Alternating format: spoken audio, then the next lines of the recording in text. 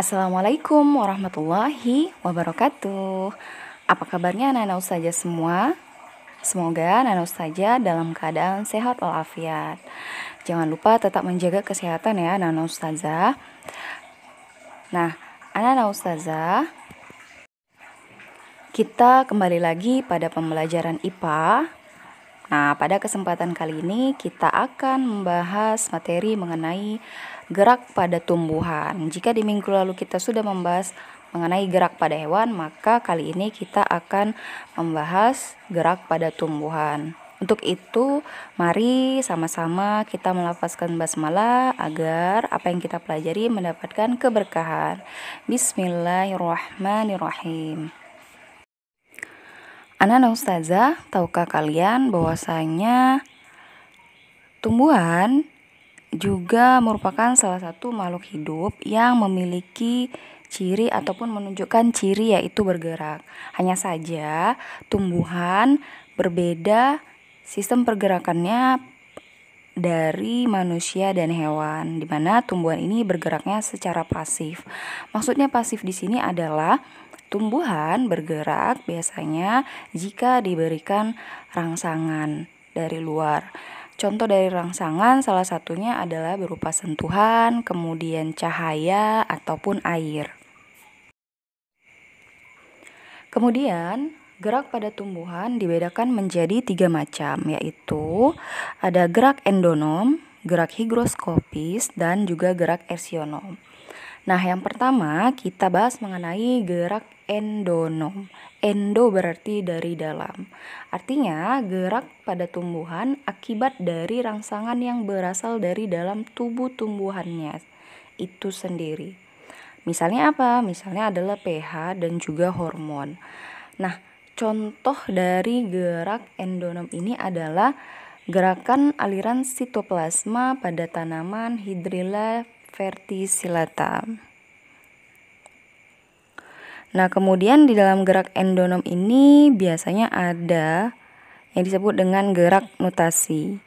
Di mana gerak nutasi ini sendiri adalah gerakan spontan yang tidak disebabkan adanya sebuah rangsangan dari luar.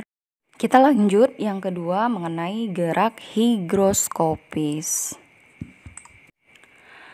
Nah, Gerak higroskopis ini sendiri adalah higro berarti air, maka gerak pada tumbuhan yang rangsangannya itu dipengaruhi oleh perubahan kadar air di tubuh tumbuhan dan biasanya sifatnya tidak merata.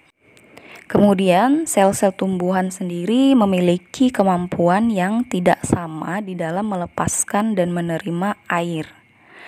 Jadi, jika lingkungan dalam keadaan kering, maka sel-selnya akan lebih cepat melepaskan air dan akan berkerut.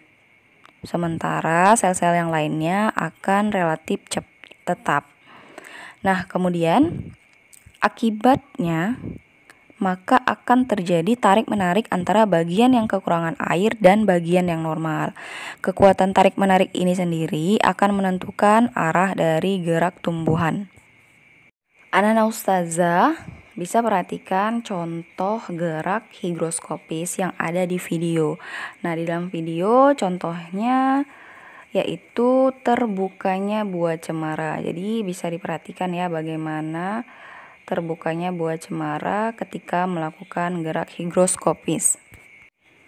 Contoh lain dari gerak higroskopis yaitu terjadi pada buah polong-polongan.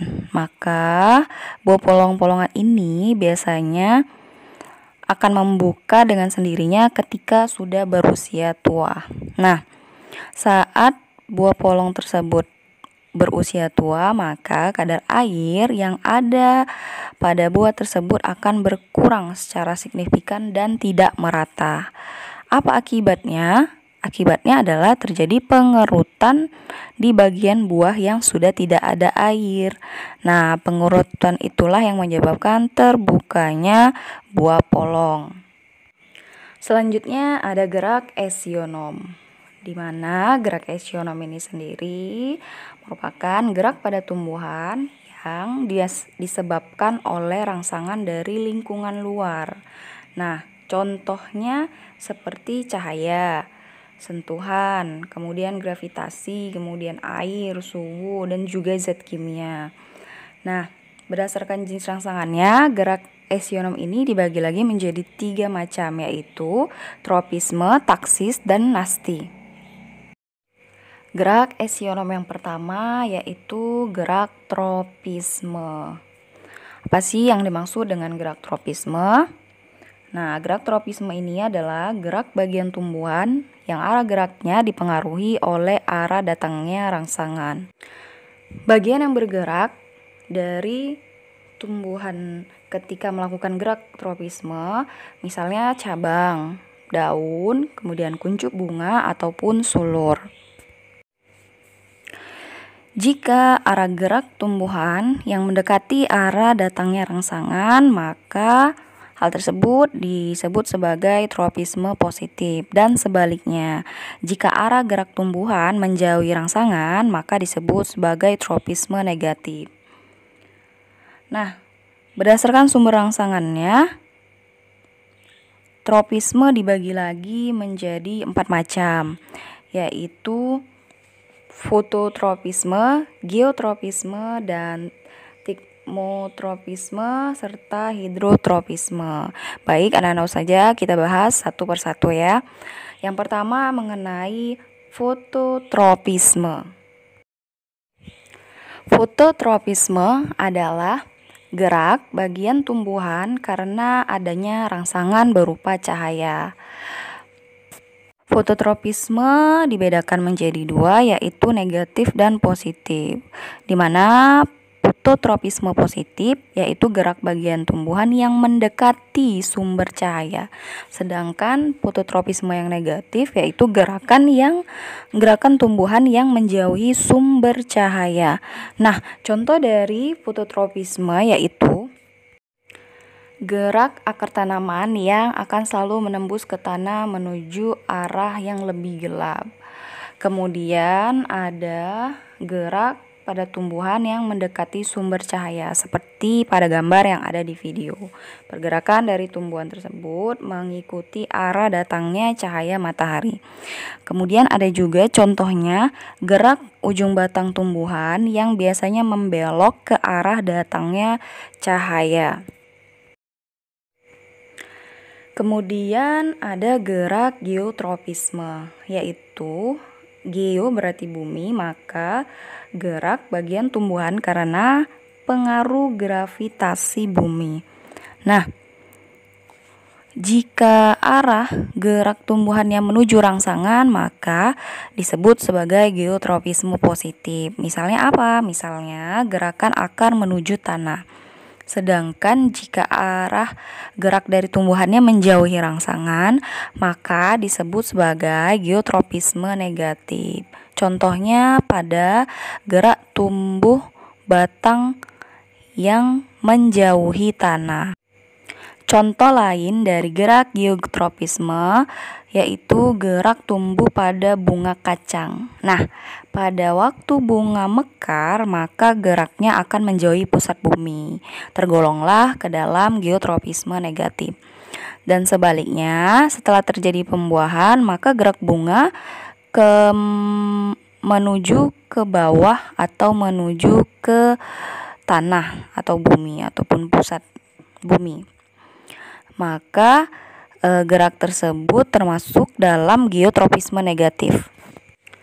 Yang selanjutnya yaitu tikmotropisme, di mana tikmotropisme ini sendiri adalah gerak bagian tumbuhan karena adanya rangsangan, sentuhan satu sisi atau persinggungan. Nah, contohnya yaitu gerak membelit ujung batang atau sulur. Kemudian contoh dari tanaman sulur di antaranya ada kacang ercis, kemudian anggur, markisa, semangka, mentimun, dan lain sebagainya. Nah, eh, anak-anak ustazah, sulur sendiri akan terus tumbuh memanjang mencari struktur pendukung untuk mengokohkan tegaknya tanaman tersebut. Maka sulur sangat sensitif terhadap sentuhan. Jika terjadi kontak antara sulur dengan benda yang lain, maka hal tersebut akan merangsang sulur untuk tumbuh membengkok ke arah benda yang tersentuh tadi. Jadi seandainya kita dekatkan dengan misalnya kayu, maka sulur tersebut akan membengkok ke arah kayu tersebut. Nah, Hal ini terjadi karena perbedaan kecepatan pertumbuhan yang berasal dari sel-sel yang terkena kontak sentuhan dari benda yang lain. Selanjutnya ada hidrotropisme. Hidro berarti air. Nah, hidrotropisme merupakan gerak bagian tumbuhan karena adanya rangsangan atau diberi rangsangan berupa air. Contoh dari hidrotropisme yaitu akar tanaman yang selalu bercabang menuju ke arah sumber-sumber air atau zat hara lainnya. Nah, anak-anak ustazah, jika tanaman tersebut menjauhi air maka disebut sebagai hidrotropisme negatif. Kemudian sebaliknya.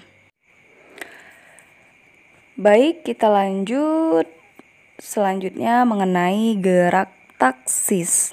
Nah, gerak taksis adalah gerak seluruh tubuh atau bagian dari tubuh tumbuhan yang berpindah tempat dan arah perpindahannya dipengaruhi rangsangan. Nah, gerak taksis ini sendiri dibagi menjadi beberapa. Yang pertama yaitu kemotaksis. Apa sih yang dimaksud dengan kemotaksis? Nah, kemotaksis ini sendiri adalah gerak taksis yang disebabkan oleh rangsangan zat kimia. Contohnya adalah gerak pada gamet jantan yang berpragela atau spermatozoid yang dihasilkan oleh anteridium lumut ke arah gamet betina atau sel telur di dalam archegonium. Nah, spermatozoid sendiri bergerak karena apa? Karena tertarik oleh sukrosa ataupun asam malat. Nah, ini termasuk zat kimia ya. Maka pergerakan ini terjadi karena adanya zat kimia pada sel gamet betinanya. Yang selanjutnya ada mengenai gerak taksis fototaksis. Nah, foto berarti cahaya, maka fototaksis merupakan gerak taksis yang disebabkan oleh rangsangan berupa cahaya. Contohnya adalah pada ganggang hijau yang langsung menuju cahaya intensitas sedang. Tetapi bila intensitas cahaya meningkat, maka akan tercapai batas tertentu dan ganggang hijau tersebut tiba-tiba akan berbalik arah dan berenang menuju cahaya. Yang selanjutnya adalah gerak nasti, yaitu gerak tumbuhan yang arahnya tidak dipengaruhi oleh arah datangnya rangsangan. Gerak nasti ini sendiri dibagi menjadi beberapa, di antaranya termonasti, yaitu gerak nasti yang dipengaruhi oleh rangsangan suhu. Termo berarti suhu. Nah, contohnya adalah mekarnya bunga tulip. Kemudian bunga-bunga tersebut mekar jika mendadak mengalami kenaikan suhu dan akan menutup kembali jika suhunya menurun. Kemudian gerak nasti yang berikutnya adalah seismonasti, yaitu gerak nasti tumbuhan yang dipengaruhi oleh gerakan ataupun sentuhan. Contohnya pada e, tumbuhan Mimosa pudica atau putri malu, di mana tumbuhan ini akan menguncup ketika kita beri rangsangan berupa sentuhan.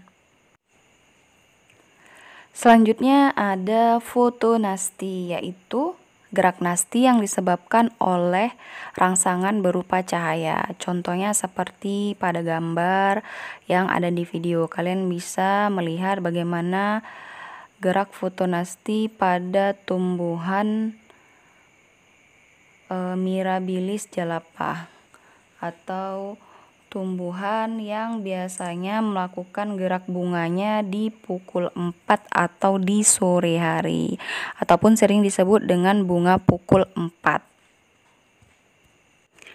Dan gerak nasti yang terakhir yaitu niktinasi.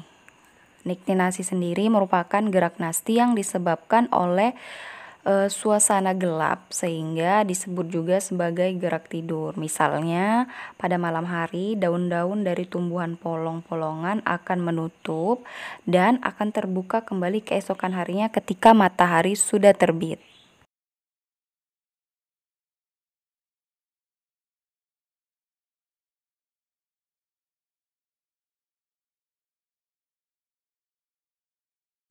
Baik, anak-anak saja mungkin sampai di sini saja pembahasan kita mengenai gerak pada tumbuhan uh, untuk memperkuat apa yang telah kita pelajari, maka silakan kerjakan tugas yang ada di buku LKS halaman 16 pada tugas mandiri nomor 1 sampai 5. Nah, anak-anak ustazah eh Semoga apa yang Ustazah sampaikan tadi bisa mempermudah kalian dan membantu kalian dalam mempelajari apa-apa saja yang berhubungan dengan gerak pada tumbuhan.